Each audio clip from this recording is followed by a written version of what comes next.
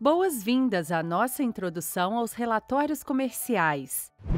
Sua conta na Amazon Seller Central dá acesso a vários relatórios comerciais. Você pode usá-los para ajudar a identificar tendências de vendas, reconhecer seus produtos de alto desempenho e descobrir novas oportunidades para expandir seu negócio. Para acessar seus relatórios comerciais, clique no ícone de menu no canto superior esquerdo do Seller Central. Passe o mouse sobre Relatórios e selecione Relatórios de Negócios. Você chegará à página de painel de vendas, que fornece um resumo de suas métricas de vendas. Use essas informações para identificar tendências e agir rapidamente. A seção de panorama de vendas exibe seu desempenho atual de vendas e pedidos. Use a seção de comparar vendas para analisar as suas vendas em relação com o desempenho do pedido de ontem, no mesmo dia da semana anterior e no mesmo dia do ano passado. Personalize essas visualizações selecionando um intervalo de datas personalizado ou gestão logística. Em seguida, clique em Aplicar para atualizar a página. Você também pode filtrar marcando as caixas de seleção na seção de Comparar vendas. E alterne entre exibição de gráfico e visualização de tabela. Seu resumo de vendas é atualizado cerca de uma vez por hora, portanto, revise regularmente. No lado esquerdo da página Painel de Vendas, você verá vários relatórios comerciais organizados por data, ASIN e outras categorias. Clique no nome de um relatório para abri-lo. Recomendamos começar com o relatório Vendas e Tráfego da página de detalhes por produto Child. Ele inclui informações sobre o desempenho de seus produtos e cada uma de suas variações. Se seu produto tiver variações, esse produto será considerado o item ou a ZIN Parent, e suas variações serão consideradas seus itens ou a ZIN Child. Por exemplo, se você vender uma camiseta em tamanhos e cores diferentes, a camiseta representará o código ASIN Parent. As variações da camiseta, como azul e M, representam códigos ASIN Child. O relatório Vendas e Tráfego da página de detalhes por produto Child é organizado pelos códigos ASIN Child para que você possa comparar o desempenho de variações diferentes do mesmo produto.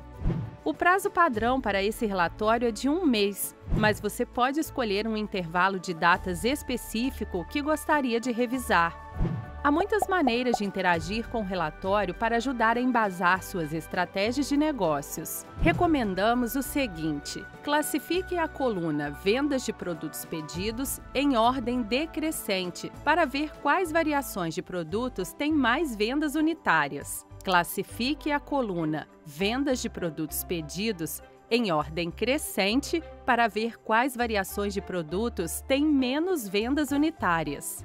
Classifique a coluna Visualizações de página total em ordem crescente para ver quais dos seus itens os clientes encontram com mais frequência, ou em ordem decrescente para ver quais eles encontram com menos frequência.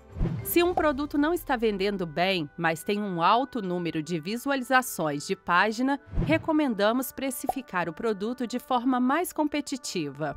Se as visualizações de página forem baixas, você pode revisar formas de aumentar a sua visibilidade com um cupom ou uma campanha de Sponsored Products. Para alguns relatórios comerciais, não se incluem automaticamente os dados de reembolso e devoluções. Clique em Mostrar barra ocultas colunas e selecione as caixas de seleção ao lado de Unidades reembolsadas taxa de reembolso e valor das reivindicações. Depois, clique em Salvar colunas. Assim como no painel de vendas, você também pode modificar o relatório para mostrar um intervalo de datas personalizado. Marque a página em seu navegador ou copie e cole o URL em suas notas pessoais para salvar os parâmetros dos relatórios selecionados. Se você quiser baixar esse ou outros relatórios de negócios, selecione Fazer Download .csv na parte superior da página do relatório. Para obter mais informações sobre as métricas incluídas no relatório de vendas e tráfego da página de detalhes por produto Child, Selecione Mais informações na parte superior da página ou clique nos títulos das colunas. Também recomendamos o uso dos relatórios comerciais de vendas e trânsito e desempenho do vendedor. Você pode usar o relatório de vendas e trânsito para revisar suas métricas diárias de vendas em um gráfico de linhas ou em uma tabela detalhada. Cada uma das colunas da tabela inclui um ícone que revela uma lista suspensa quando clicado.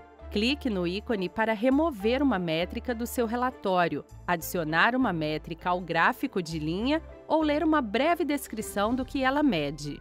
O relatório de desempenho do vendedor ajuda você a entender a satisfação do cliente. Aqui estão algumas das métricas deste relatório. A métrica de taxa de reembolso mostra a porcentagem de seus pedidos que estão sendo devolvidos ou reembolsados. A métrica de Índice de Avaliações Negativas Recebidas calcula a porcentagem de seus pedidos que receberam avaliação negativa no dia listado na coluna Data. Por fim, as métricas por semana e por mês permitem que você visualize as informações de satisfação do cliente recebidas nesses prazos. Você também pode selecionar datas personalizadas para o relatório. Isso conclui nossa introdução aos relatórios comerciais. Como próxima etapa, recomendamos personalizar seus relatórios e determinar quais relatórios, métricas e prazos funcionam melhor para entender o desempenho da sua loja. Obrigada e boas vendas na Amazon!